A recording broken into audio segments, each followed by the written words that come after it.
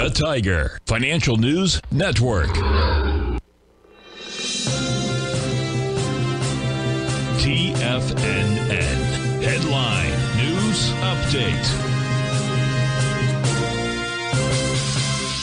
Welcome, folks. We have the Dow Industrials trade down 126. Nasdaq is up nine. S&P's off one and a half. Gold, gold contract up seven dollars eighty cents, trading at 19.77 an ounce.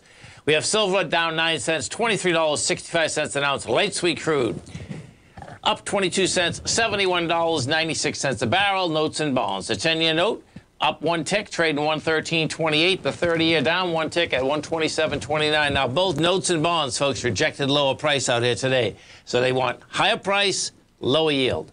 King dollar. King dollar down 13 ticks, trading 104.001. That also rejected lower price.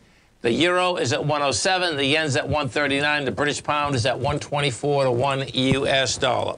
We get over and take a look at the S&P, folks. You get a sideways day, which makes sense after the type of day that you've had on Friday because the amount of energy that expended is a, is a huge amount of energy. So you get 50 million shares traded right now. On Friday, we did a 91. That swing point, which is higher, which is at 431, is still game. Inside the Qs, same type of setup inside the Qs. The Qs right now. Come on, baby. Get up here. Where are you? Hmm. What just happened there? There we go. The Qs right now at 355. Now, what's going to get it's going to get interesting with the Qs because the Qs, the drop off is pretty dramatic. It's 36 million shares right now.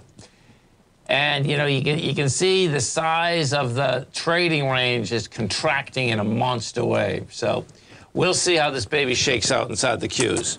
We go to the dollar, we go to the gold contract. Gold contract is in a confirmed ABC structure down to the 1902 area. Um, now you get you get a basically you, you rejected 1953 today and 1977 you're down 170,000 contracts, so that's not bad. That's uh, that that would be a rejection of lower price with lighter volume. So we'll see if we can get any traction on that baby. But thus far, even when it went up last week, okay, gave it up in spades on Friday. And we get over to King Dollar. We take a look at King Dollar. It's all about King Dollar once again. You know, King Dollar out here this morning. Um, it's you know got up to a price point of this uh, 104, 403.